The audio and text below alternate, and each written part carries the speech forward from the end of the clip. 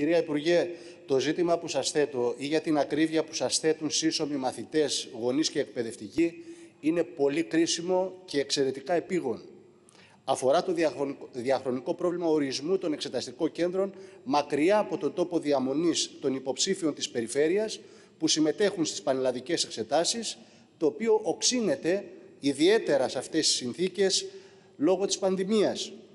Το πρόβλημα αφορά τους μαθητές που είναι αναγκασμένοι να μεταβούν σε Αθήνα ή Θεσσαλονίκη για να εξεταστούν σε ειδικά μαθήματα, ελεύθερο και γραμμικό σχέδιο, ξένες γλώσσες και τέσσερα μουσικά μαθήματα.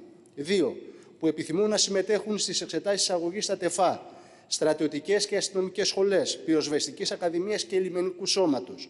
Τρία, των επαρχιακών ΕΠΑΛ που οι μαθητές υποχρεώνονται σε συνεχή μετακίνηση στα αστικά κέντρα της περιοχής τους, όπως για παράδειγμα στην Κρήτη από τη Μεσαρά να πάνε στην πόλη του Ηρακλείου ή ακόμα και στη μετακίνηση από νησί σε νησί, όπως για παράδειγμα από τη Σίμη στη Ρόδο ή από την Πάτμο στη Λέρο και πολλά άλλα νησιά, αντί να εξετάζονται στο σχολείο τους.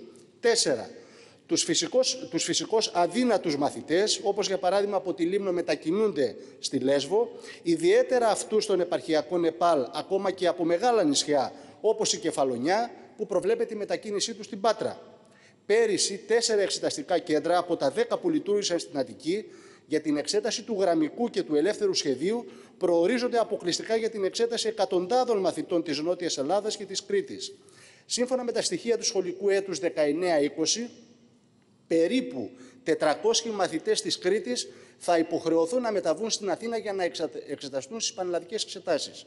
Πρόκειται για άνηση, κατάφορη και εξοντοτική και ειδικά φέτος επικίνδυνη μεταχείριση σε βάρος των μαθητών της περιφέρειας, ιδίως των νησιών και των απομακρυσμένων περιοχών. Αλήθεια, έτσι εννοείται την ίση μεταχείριση των πολιτών, την ανάγκη συνεχούς βελτίωσης της ποιότητας του παρεχόμενου εκπαιδευτικού έργου, για την εύρεθμη λειτουργία της εκπαιδευτικής διαδικασίας. Αυτές είναι οι βέλτιστες εκπαιδευτικές πρακτικές και μεθόδους για την αναβάθμιση του σχολείου. Αυτά είναι που λέτε και στο υποσυζήτηση σχέδιο νόμου για την παιδεία. Είναι περίσσια υποκρισία πραγματικά.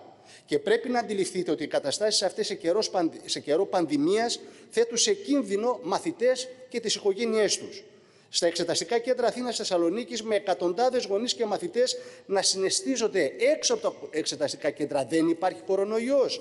Πού είναι τα υγειονομικά πρωτόκολλα και υπουργικές αποφάσεις περί μέτρων αντιμετώπισης της πανδημίας που διαφημίζεται; Επιπλέον επιβαρύνονται οικονομικά με το κόστος μετακίνησης, επιδεινώνουν τις συνθήκες εξέτασης και διαμορφώνουν όρους ανισοτιμίας και ειδικά στις παρούσες δύσκολες υγειονομικές και οικονομικές συνθήκες, που θα λειτουργήσουν αποτρεπτικά για μεγάλο αριθμό υποψηφίων από τη συμμετοχή τους εξετάσεις. Κύριε Συντιχάκη. Ολοκληρώνω, κύριε Πρόεδρε. Ζητάμε να μπει τέλος σε αυτό το μαρτύριο εδώ και τώρα και σας ρωτάμε τι μέτρα θα πάρετε; Πρώτον, να οργανωθεί η εξέταση των ειδικών μαθημάτων σε τοπικό επίπεδο. Να ληφθούν μέτρα για τη συμμετοχή των μαθητών της περιφέρειας στις εξετάσεις αγωγής στα ΤΕΦΑ, στρατιωτικές, αστυνομικές σχολές, πυροσβεστικής ακαδημίας και λιμενικού σώματος. Και να δοθεί η δυνατότητα στους μαθητές των ΕΠΑΛ της Υπέθρου να δώσουν εξετάσεις στα σχολεία, καθώς και στους φυσικώς αδύνατους σε ειδικά εξεταστικά κέντρα στις περιοχές όπου φοιτούν, με όρους ισότιμους όπως και οι άλλοι μαθητές. Ευχαριστώ κύριε Πρόεδρε και για την ανοχή σας. Ελάτε κύριε Υπουργέ, έχετε το λόγο. Κύριε Πρόεδρε, κύριοι βουλευτές, καλημέρα. Ε, είμαι εδώ να απαντήσω εκ μέρους της Υπουργού, της κυρίας ε, Κεραμέους, για το ζήτημα των πανελλαδικών εξετάσεων και του ιδιαίτερου ζητήματο το οποίο σήμερα θέτεται, κυρία Συντιχάκη. Ε, Όπως είπατε, είναι κρίσιμο, είναι και διαχρονικό το να συζητήσουμε σήμερα Παρασκευή 5 ε, Ιουνίου για τις πανελλαδικές που ξεκινάνε σε λίγες μέρες και εν μέσω του νομοσχεδίου. Το κάνουμε μεγάλη χαρά. Μιλάμε όμως για ένα ζήτημα το οποίο θα μας απασχολούσε και προηγούμενες χρονιές, πιθανότητα να μας απασχολεί και επόμενες.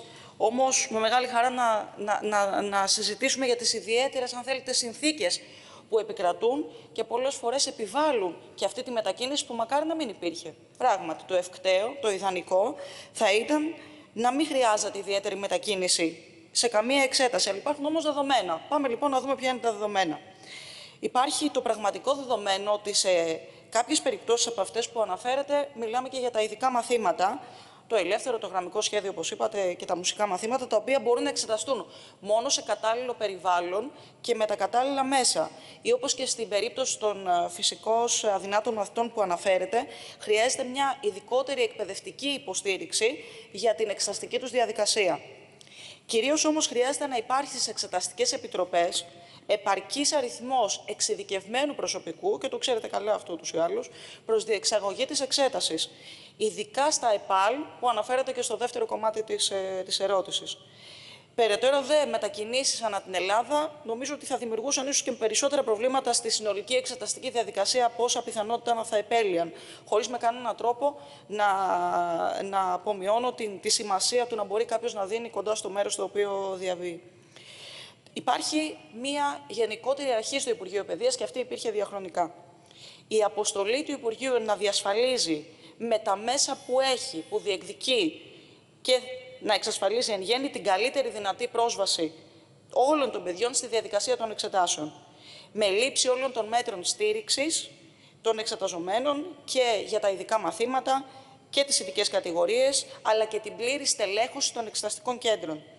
Ήδη έχουν ληφθεί και επιπλέον μέτρα για τις κατηγορίες που αναφέρεστε, εμπίπτουν στην αρμοδιότητά μας. Κάποιες εξ αυτών που αναφέρεστε δεν εμπίπτουν στην αρμοδιότητά μας. Μιλήσετε για τις αστυνομικές στρατιωτικές σχολές, λοιπές για τι εξετάσεις, αλλά φαντάζομαι ότι βάζετε όλο το πλαίσιο των εξετάσεων που πρέπει. Απλά έχω την αρμοδιότητα να απαντήσω για κάποιες εξ αυτών. Όπως και η πρόβλεψη για επιπλέον εξεταστικά κέντρα, για περισσότερα μέλη σε εξεταστικές επιτροπές, παραδείγματος χάρη των ΤΕΦΑ.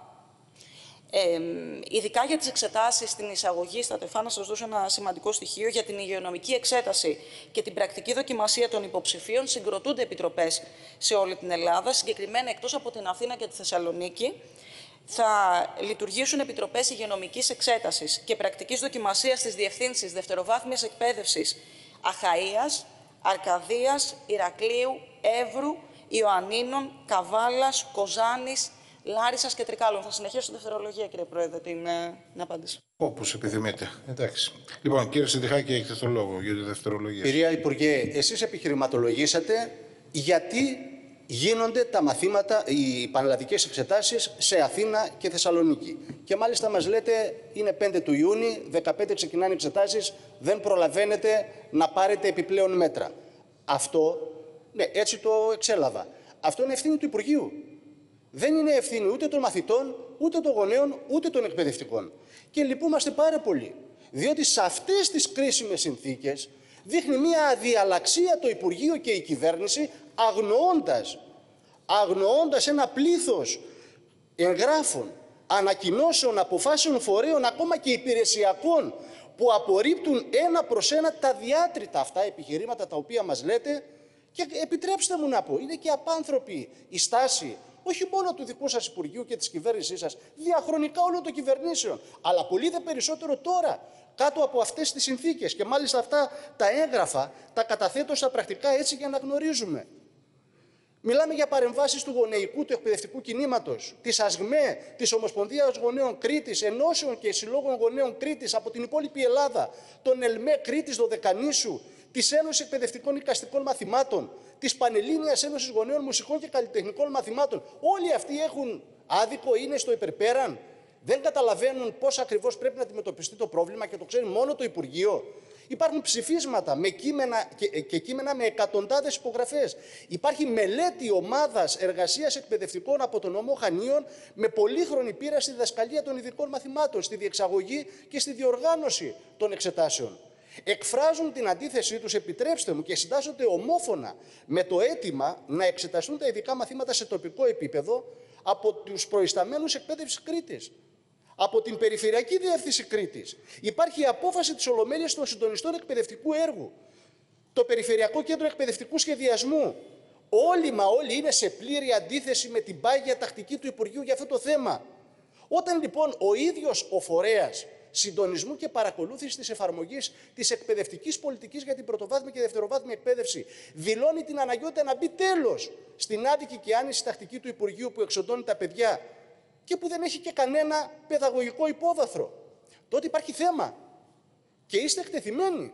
Είστε εκτεθειμένοι. Δηλαδή, δείχνετε ένα άκαμπτο, ταξικό πρόσωπο σε βάρος των παιδιών και των λαϊκών οικογενειών, ακόμα και ευπαθών κοινωνικών ομάδων.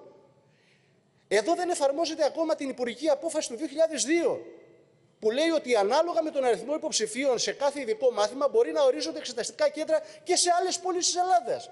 Μας λέτε ότι δεν υπάρχει εξε, εξειδικευμένο εκπαιδευτικό προσωπικό. Σοβαρά μιλάτε. Εξειδικευμένοι πάρα πολύ. Ειδικά στην Κρήτη που γνωρίζω, είναι πάρα πολύ εξειδικευμένοι. Απλώς ξέρετε τι, έχει κόστος. Έχει κόστος και δεν θέλετε να υπομειστείτε αυτό το κόστος. Είναι τα λεγόμενα δημοσιονομικά τα οποία μας λέτε. Δηλαδή, κατά την άποψή μας, πρέπει να δείτε τον αριθμό των υποψηφίων ανανομό και περιφέρεια και να συστήσετε εξεταστικά κέντρα για τα ειδικά μαθήματα, όπου αυτό απαιτείται. Και εσείς δεν το κάνετε. Γιατί; Έχετε αναλογιστεί τι σημαίνει για αυτούς τους μαθητές και τους συνοδούς από τα νησιά. Δεν φτάνει ο εξεταστικός Γολγοθάς. Τους λέει ότι πρέπει να υποστούν και τις συνέπειες των επιλογών τους.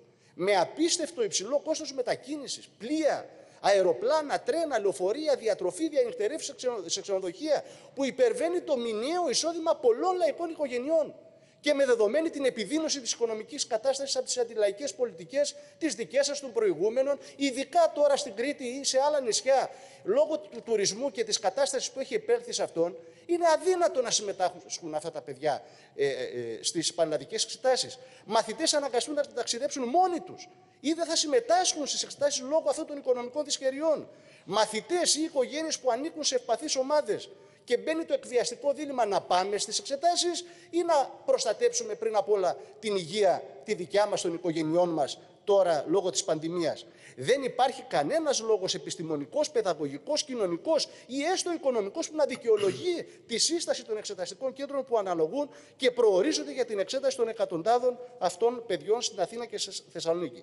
Γι' αυτό λοιπόν και ολοκληρώνω κύριε Πρόεδρε, σας ζητάμε να λάβετε υπόψη στην Υπουργική Απόφαση του 2002 τον αριθμό των μαθητών ανωνυμό και περιφέρεια που αποδεικνύει ότι εκατοντάδες μαθητές συμμετέχουν στις εξετάσεις και έχουν εγκαίρως κοινοποιηθεί στις αρμόδιες υπηρεσίες τη εισηγήση των αρμόδιων τοπικών και περιφερειακών διευθύνσεων ΣΑΣΤΑΠΑ.